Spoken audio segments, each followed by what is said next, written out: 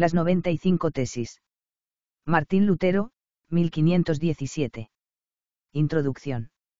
La Iglesia necesita una reforma, se venía diciendo desde hacía mucho tiempo ya, y grandes concilios fueron convocados para ocuparse de tal reforma, pero sin resultados concretos. En cambio, cuando se dieron a conocer las 95 tesis de Martín Lutero, se suscitó en el norte de Europa un movimiento popular que produjo cambios como ningún otro lo había hecho antes.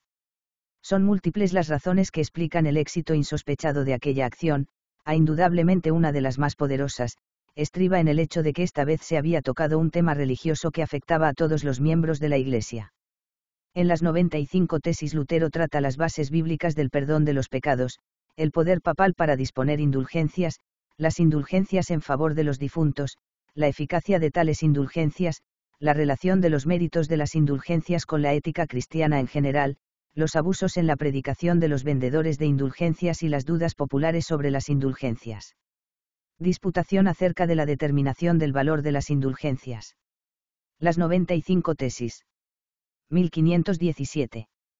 Por amor a la verdad y en el afán de sacarla a luz, se discutirán en Wittenberg las siguientes proposiciones, bajo la presidencia del reverendo P. Martín Lutero, maestro en artes y en sagrada escritura y profesor ordinario de esta última disciplina en esa localidad. Por tal razón, ruega que los que no puedan estar presentes y debatir oralmente con nosotros, lo hagan, por escrito. En el nombre de nuestro Señor Jesucristo. Amén. 1. Cuando nuestro Señor y Maestro Jesucristo dijo, Haced penitencia, ha querido que toda la vida de los creyentes fuera penitencia. 2. Este término no puede entenderse en el sentido de la penitencia sacramental, es decir, de aquella relacionada con la confesión y satisfacción, que se celebra por el ministerio de los sacerdotes.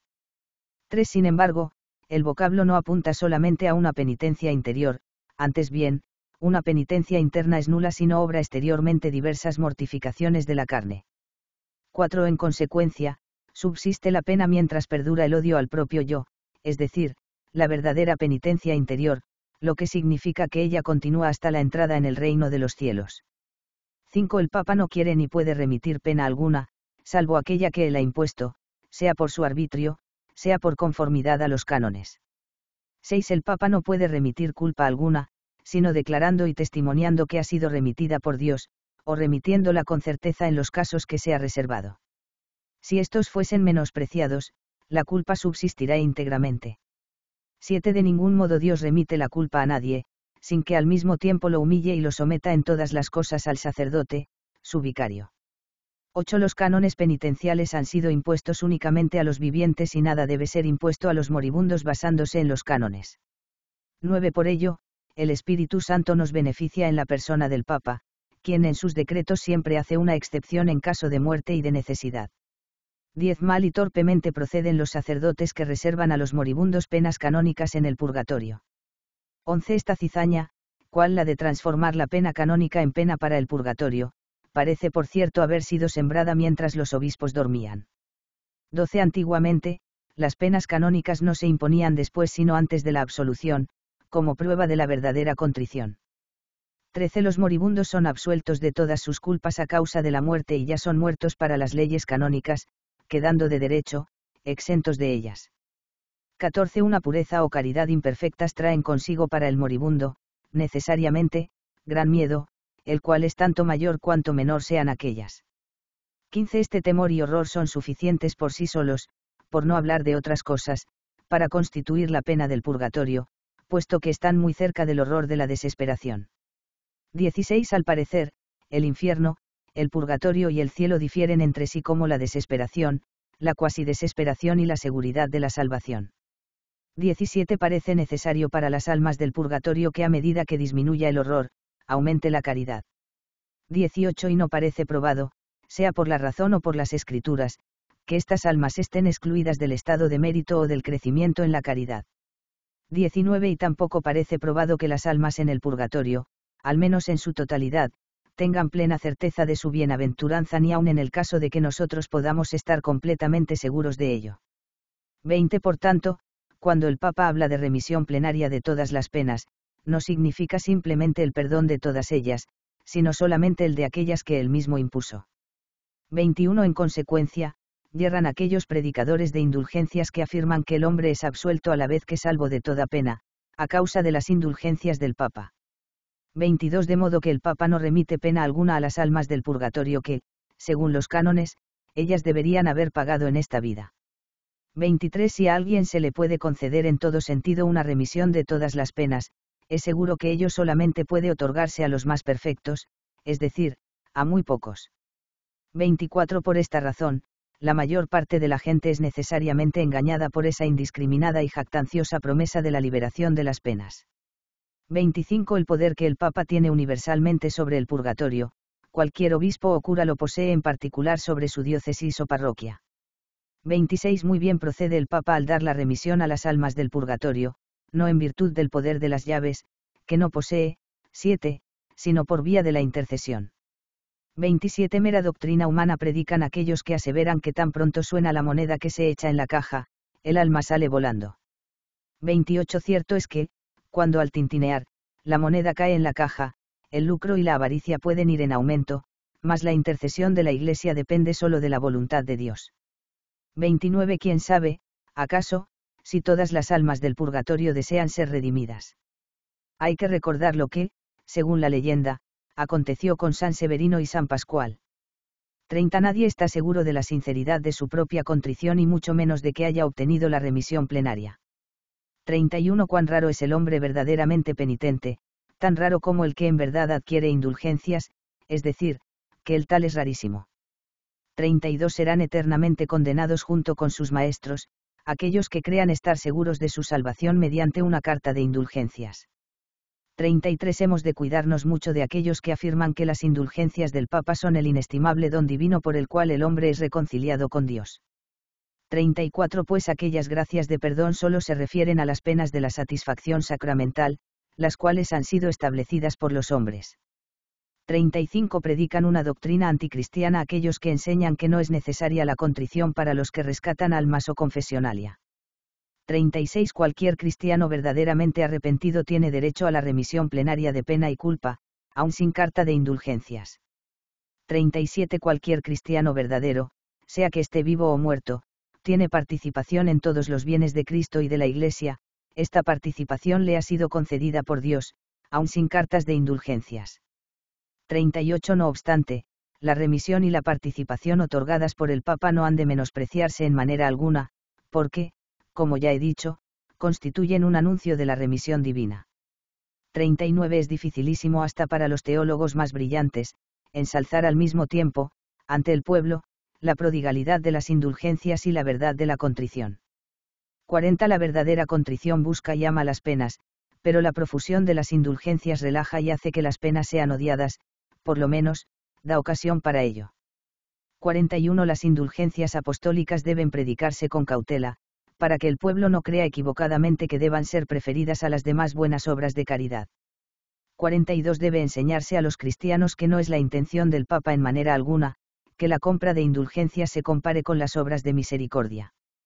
43 Hay que instruir a los cristianos que aquel que socorre al pobre o ayuda al indigente, realiza una obra mayor que si comprare indulgencias. 44 Porque la caridad crece por la obra de caridad, y el hombre llega a ser mejor, en cambio, no lo es por las indulgencias, sino a lo más, liberado de la pena. 45 Debe enseñarse a los cristianos que el que ve a un indigente y, sin prestarle atención, da su dinero para comprar indulgencias, lo que obtiene en verdad no son las indulgencias papales, sino la indignación de Dios. 46 Debe enseñarse a los cristianos que, si no son colmados de bienes superfluos, están obligados a retener lo necesario para su casa y de ningún modo derrocharlo en indulgencias. 47 Debe enseñarse a los cristianos que la compra de indulgencias queda librada a la propia voluntad y no constituye obligación. 48 Se debe enseñar a los cristianos que, al otorgar indulgencias, el Papa tanto más necesita cuanto desea una oración ferviente por su persona, antes que dinero en efectivo. 49 Hay que enseñar a los cristianos que las indulgencias papales son útiles si en ellas no ponen su confianza, pero muy nocivas si, a causa de ellas, pierden el temor de Dios.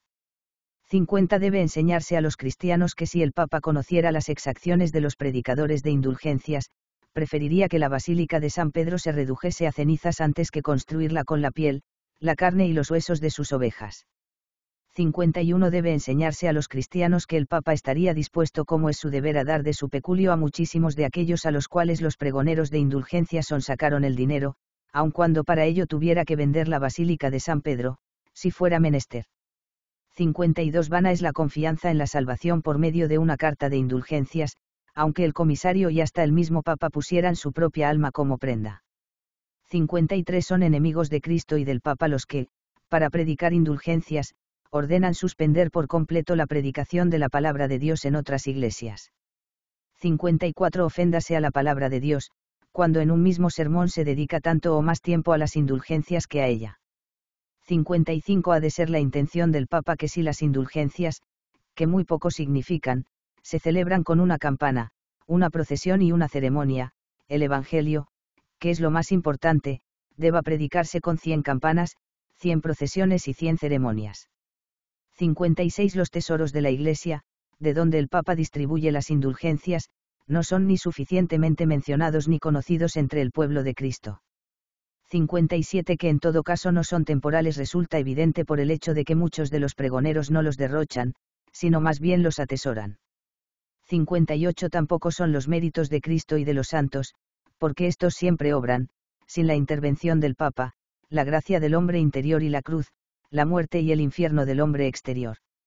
59 San Lorenzo dijo que los tesoros de la Iglesia eran los pobres, mas hablaba usando el término en el sentido de su época. 60 No hablamos exageradamente si afirmamos que las llaves de la Iglesia, donadas por el mérito de Cristo, constituyen ese tesoro. 61 Está claro, pues, que para la remisión de las penas y de los casos reservados, basta con la sola potestad del Papa. 62 El verdadero tesoro de la Iglesia es el sacrosanto Evangelio de la gloria y de la gracia de Dios. 63 Empero este tesoro es, con razón, muy odiado, puesto que hace que los primeros sean postreros. 64 En cambio, el tesoro de las indulgencias, con razón, es sumamente grato, porque hace que los postreros sean primeros. 65 Por ello, los tesoros del Evangelio son redes con las cuales en otros tiempos se pescaban a hombres poseedores de bienes. 66 Los tesoros de las indulgencias son redes con las cuales ahora se pescan las riquezas de los hombres. 67 Respecto a las indulgencias que los predicadores pregonan con gracias máximas, se entiende que efectivamente lo son en cuanto proporcionan ganancias. 68 No obstante, son las gracias más pequeñas en comparación con la gracia de Dios y la piedad de la cruz. 69 Los obispos y curas están obligados a admitir con toda reverencia a los comisarios de las indulgencias apostólicas. 70 Pero tienen el deber aún más de vigilar con todos sus ojos y escuchar con todos sus oídos, para que esos hombres no prediquen sus propios ensueños en lugar de lo que el Papa les ha encomendado. 71 Quien habla contra la verdad de las indulgencias apostólicas, sea anatema y maldito. 72 más quien se preocupa por los excesos y demasías verbales de los predicadores de indulgencias, sea bendito. 73 Así como el Papa justamente fulmina excomunión contra los que maquinan algo, con cualquier artimaña de venta en perjuicio de las indulgencias. 74 Tanto más trata de condenar a los que bajo el pretexto de las indulgencias, intrigan en perjuicio de la caridad y la verdad. 75 Es un disparate pensar que las indulgencias del Papa sean tan eficaces como para que puedan absolver para hablar de algo imposible a un hombre que haya violado a la Madre de Dios. 76 Decimos, por el contrario, que las indulgencias papales no pueden borrar el más leve de los pecados veniales, en cuanto concierne a la culpa. 77 Afirmar que si San Pedro fuese Papa hoy, no podría conceder mayores gracias, constituye una blasfemia contra San Pedro y el Papa. 78 sostenemos, por el contrario, que el actual Papa, como cualquier otro, dispone de mayores gracias, a saber, el Evangelio, las virtudes espirituales, los dones de sanidad, etc., como se dice en 1 Corintios 12. 79 es blasfemia aseverar que la cruz con las armas papales llamativamente erecta, equivale a la cruz de Cristo. 80 tendrán que rendir cuenta los obispos, curas y teólogos, al permitir que charlas tales se propongan al pueblo. 81 Esta arbitraria predicación de indulgencias hace que ni siquiera, aun para personas cultas, resulte fácil salvar el respeto que se debe al Papa, frente a las calumnias o preguntas indudablemente sutiles de los laicos. 82 Por ejemplo, porque el Papa no vacía el purgatorio a causa de la santísima caridad y la muy apremiante necesidad de las almas, lo cual sería la más justa de todas las razones si él redime un número infinito de almas a causa del muy miserable dinero para la construcción de la basílica, lo cual es un motivo completamente insignificante. 83 Del mismo modo, porque subsisten las misas y aniversarios por los difuntos y porque el Papa no devuelve o permite retirar las fundaciones instituidas en beneficio de ellos, puesto que ya no es justo orar por los redimidos. 84 Del mismo modo, que es esta nueva piedad de Dios y del Papa, según la cual conceden al impío y enemigo de Dios, por medio del dinero, redimir un alma pía y amiga de Dios, y porque no la redimen más bien, a causa de la necesidad, por gratuita caridad hacia esa misma alma pía y amada. 85 Del mismo modo, porque los cánones penitenciales que de hecho y por el desuso desde hace tiempo están abrogados y muertos como tales, se satisfacen no obstante hasta hoy por la concesión de indulgencias, como si estuviesen en plena vigencia. 86 Del mismo modo, porque el Papa, cuya fortuna es hoy más abundante que la de los más opulentos ricos, no construye tan solo una basílica de San Pedro de su propio dinero, en lugar de hacerlo con el de los pobres creyentes. 87 Del mismo modo, que es lo que remite el Papa y qué participación concede a los que por una perfecta contrición tienen ya derecho a una remisión y participación plenarias. 88 Del mismo modo, que bien mayor podría hacerse a la Iglesia si el Papa, como lo hace ahora una vez, concediese estas remisiones y participaciones cien veces por día a cualquiera de los creyentes. 89 Dado que el Papa, por medio de sus indulgencias, busca más la salvación de las almas que el dinero, porque suspende las cartas e indulgencias ya anteriormente concedidas, si son igualmente eficaces. 90 Reprimir estos sagaces argumentos de los laicos solo por la fuerza, sin desvirtuarlos con razones, significa exponer a la Iglesia y al Papa a la burla de sus enemigos y contribuir a la desdicha de los cristianos. 91 Por tanto, si las indulgencias se predicasen según el espíritu y la intención del Papa, todas esas objeciones se resolverían con facilidad o más bien, no existirían. 92 Que se vayan pues todos aquellos profetas que dicen al pueblo de Cristo, paz, paz, y no hay paz. 93 Que prosperen todos aquellos profetas que dicen al pueblo, cruz, cruz y no hay cruz. 94 Es menester exhortar a los cristianos que se esfuercen por seguir a Cristo, su cabeza, a través de penas, muertes a infierno. 95 Y a confiar en que entrarán al cielo a través de muchas tribulaciones, antes que por la ilusoria seguridad de paz. Audiolibro cortesía de la comunidad de audiolectores, búscanos en el canal de YouTube Filosofía y Letras. Director Arturo Garcés. La indulgencia y la gracia. Martín Lutero, 1517. Introducción. La amplia difusión de las 95 tesis había disgustado a Lutero. Por esta razón, preparó una explicación nueva de su posición frente al sistema de otorgar indulgencias, esta vez con expresiones mejor adaptadas a la comprensión de los laicos y en el idioma vernáculo. Dio la forma de un sermón a un tratado de 20 puntos, a la manera de las conferencias populares sobre temas religiosos. Habla primero del arrepentimiento, de la confesión y satisfacción, 1.13, criticando las doctrinas escolásticas sobre la penitencia, 1.5, proponiendo la doctrina bíblica, 6.8, y subrayando la consagración total de la vida, 9.13. Después considera los motivos egoístas que estimulan el interés dirigido a la adquisición de las indulgencias, oponiéndoles el amor a Dios y al prójimo, 14.17, y aquí estamos ante la parte más profunda del sermón se atiene fielmente a las bases bíblicas, 19, defendiéndose contra la calumnia que lo denuncia como hereje, 20. Al comparar el sermón con las 95 tesis, notamos que no se hace ninguna mención del Papa, y que además se destaca con mucha mayor fuerza que nunca la supremacía de la Biblia frente a la teología y las costumbres de la Iglesia. Lutero comunica su propósito de publicar el sermón a Cristóbal Scheurl de Nuremberg en una carta fechada el 5 de marzo de 1518, diciendo que servirá para suprimir aquellas posiciones tan vagabundas.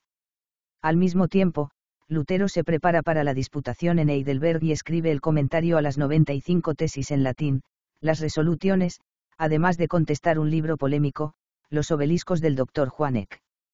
De palabras alusivas se desprende que Lutero había leído también la antítesis que Juan Tetzel, el predicador de indulgencias, había publicado en el mes de enero de 1518, en colaboración con Conrado Guimpina. Probablemente el sermón fue distribuido durante la cuaresma, a fines de marzo, siendo contestado enseguida por Tetzel con una proposición. La imprenta de Juan Grunenberg en Wittenberg hizo tres ediciones que se conservan en Zwickau y Hamburgo. En total se conocen 20 impresiones diferentes que todavía existen en numerosas copias, lo cual es prueba del interés que despertaron. En la edición crítica de Weimar, el sermón figura en el tomo 1, páginas 243-246. La indulgencia y la gracia. 1517. Por el reverendo doctor Martín Lutero, Agustino de Wittenberg.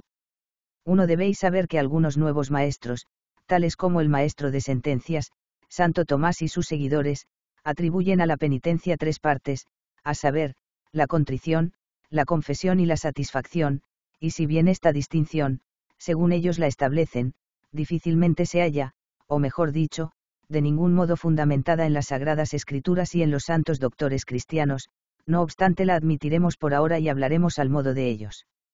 Dos afirman que la indulgencia no suprime la primera o la segunda parte, a saber, la contrición o la confesión, sino la tercera, es decir, la satisfacción.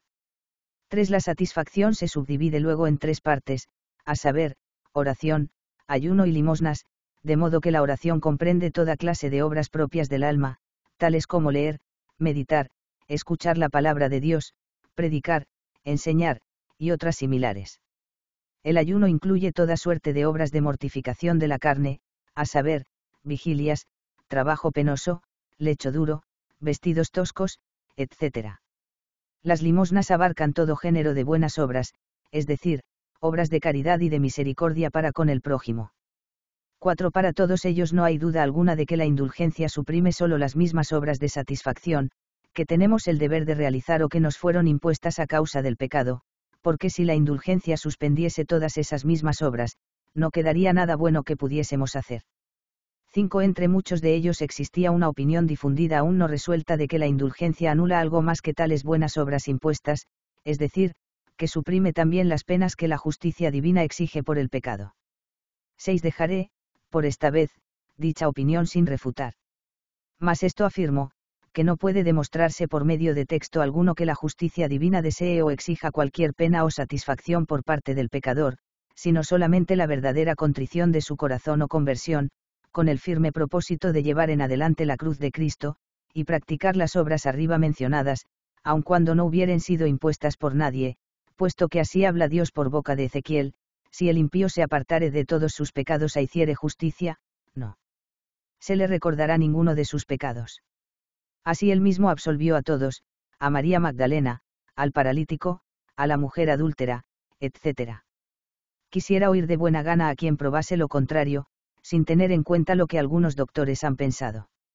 7. Sucederá que Dios castiga a algunos conforme a su justicia o que mediante penas los impulsa a la contrición, como se dice en el Salmo 88, si sus hijos pecaren, castigaré con vara sus transgresiones, mas no quitaré de ellos mi misericordia.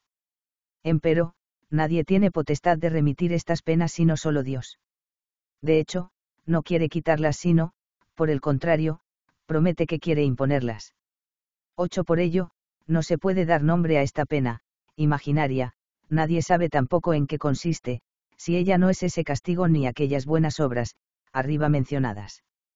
9. Yo afirmo, si la Iglesia cristiana aún hoy resolviera o declarara que la indulgencia suprime más que las obras de satisfacción, sería, no obstante, mil veces mejor que ningún cristiano comprara o desease esa indulgencia, sino que prefiriese realizar las obras y sufrir la pena, puesto que la indulgencia no es ni puede llegar a ser otra cosa, que el descuido de las buenas obras y de las penas saludables, que con más razón el hombre debería buscar que abandonar. Es cierto que algunos de los nuevos predicadores inventaron dos clases de penas, medicativas y satisfactorias, es decir, ciertas penas para la satisfacción y ciertas otras para la corrección. Pero nosotros, Dios sea alabado, tenemos más libertad para despreciar tales cosas y charlatanerías semejantes, de la que poseen ellos para inventarlas, puesto que toda pena y aun todo lo que Dios impone, sirve para enmendar a los cristianos y es beneficioso para ellos. 10. De nada vale afirmar que las penas y las obras son demasiado numerosas para que, a causa de la brevedad de su vida, el hombre pueda realizarlas y que por esta razón la indulgencia le es necesaria. Contesto, esta aseveración no tiene fundamento y es mera fábula, porque, Dios y la Santa Iglesia no imponen a nadie más de lo que puede llevar, como dice también San Pablo, que Dios no permitirá que nadie sea tentado más allá de sus fuerzas, gravemente redundaría en oprobio de la cristiandad la acusación de que ella impusiese más de lo que podemos soportar. 11. Aunque la penitencia instituida en el derecho canónico estuviese aún hoy en vigencia, es decir, que por cada pecado mortal se impusiesen siete años de penitencia, la cristiandad, no obstante, debería dejar a un lado esas disposiciones y no imponer más de lo que cada uno pudiese llevar. Puesto que al presente estas leyes no rigen, con más razón debemos cuidarnos de no imponer más de lo que cada cual puede soportar. 12. Se dice bien que el pecador, por aquellas penas que aún resta soportar, debe ser remitido al purgatorio o a la indulgencia. Pero hay aún muchas cosas más que se afirman sin razón ni pruebas.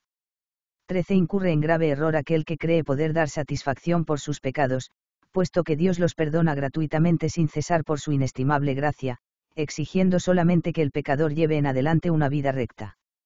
Es cierto que la cristiandad exige algo. Por tanto, ella puede y debe remitirlo también, y no ha de imponer nada difícil o insoportable. 14. La indulgencia se autoriza a causa de los cristianos imperfectos y perezosos que no quieren ejercitarse resueltamente en las buenas obras o no quieren sufrir, puesto que la indulgencia no impulsa a nadie a enmendarse, sino que tolera y certifica su imperfección. Por ello, no hay que hablar contra la indulgencia, pero tampoco se debe recomendarla a nadie. 15 actuaría en forma mucho más segura y mejor aquel que donara algo, simplemente por amor a Dios, para el edificio de San Pablo, o para lo que fuere, en lugar de tomar una indulgencia en canje, porque es peligroso hacer semejante donación por amor a la indulgencia antes que por amor a Dios. 16 Mucho más vale la obra realizada en beneficio de un indigente que una donación para dicho edificio, también es mucho mejor que la indulgencia que se da en canje, puesto que, como hemos dicho, más vale realizar una buena obra que descuidar muchas. La indulgencia, sin embargo, es la remisión de un gran número de buenas obras, o nada, entonces, es remitido. Sí, para que yo os instruya debidamente, prestad atención, ante todo, sin preocuparte del edificio de San Pedro ni de la indulgencia, debes dar al prójimo pobre, si quieres donar algo. Pero, si llega el momento de que no hubiese nadie en la ciudad que necesitare ayuda, lo que, si Dios quiere, no sucederá jamás, entonces, si quieres, darás para las iglesias, los altares, los ornamentos o el cáliz que haya en tu pueblo. Y cuando esto ya no haga falta, solamente entonces, si quieres, puedes contribuir para el edificio de San Pedro o para otro fin. No obstante, no has de hacerlo a causa de la indulgencia, porque San Pablo dice, el que no hace bien a los de su casa no es cristiano y es peor que un infiel. Y para expresar libremente mi pensamiento, cualquiera que dijere otra cosa lo induce a error, o busca más bien el alma en el bolsillo y si en ella hallare céntimos, le gustaría más que todas las almas. Si tú dices, entonces jamás compraré indulgencia, lo contesto, ya lo he dicho arriba, mi voluntad, mi anhelo, mi ruego y mi consejo son que nadie compre indulgencia. Que los cristianos perezosos y soñolientos adquieran indulgencia. Tú, sigue tu camino. 17 No hay una orden de comprar indulgencias ni ello se aconseja. Ella pertenece al número de las cosas autorizadas y permitidas, y por esto, no es obra de obediencia ni meritoria, sino que constituye una evasión a la obediencia. En consecuencia, si bien no se debe impedir a nadie comprarla, se debería, no obstante, apartar de ella a todos los cristianos estimulándolos y fortaleciéndolos para las obras y las penas que, mediante las indulgencias, se remiten. 18 que por la indulgencia se saquen las almas del purgatorio, no lo sé y no lo creo todavía, aunque algunos nuevos doctores lo afirmen. Mas no les es posible comprobarlo y la Iglesia aún no lo ha decidido. Es mucho mejor que ruegues y obres por las almas, porque es más eficaz y seguro. 19 Acerca de estos puntos no tengo dudas. Están suficientemente fundados en las escrituras. Por ello, tampoco vosotros debéis dudar dejad a los doctores escolásticos ser escolásticos. Todos ellos, con sus opiniones, no bastan para dar autoridad a un sermón. 20. Aunque algunos, para quienes la verdad causa un grave perjuicio en cuanto a sus ingresos, me llamen hereje, no doy mucha importancia a tal charlatanería, puesto que lo hacen solamente algunos cerebros obscuros que jamás han husmeado la Biblia, ni nunca leyeron a los doctores cristianos ni jamás comprendieron a sus propios maestros, ya que, con sus opiniones perforadas de agujeros y en harapos, se hallan cercanos a la descomposición. Puesto que si hubiesen comprendido, sabrían que no pueden deshonrar a nadie sin antes escucharle y convencerle de su error. Que Dios, no obstante, otorgue a ellos y a nosotros un entendimiento recto. Fin. Audiolibro cortesía de la comunidad de audiolectores, búscanos en el canal de YouTube Filosofía y Letras. Director Arturo Garcés.